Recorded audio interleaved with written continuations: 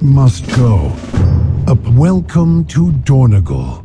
You are the first Outlander to visit in years.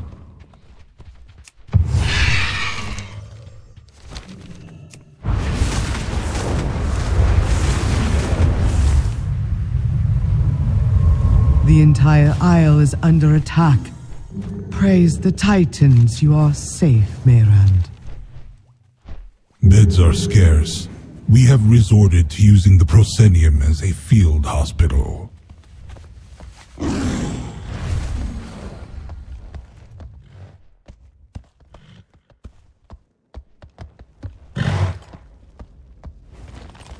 The answers are here. I can. I'm not about to leave the Isle of Dorn unexplored. I have a reputation to uphold.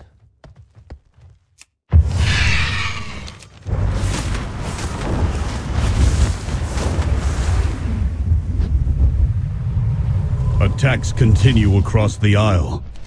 We cannot respond to them all. Nor can we rebuild the Coreway without help.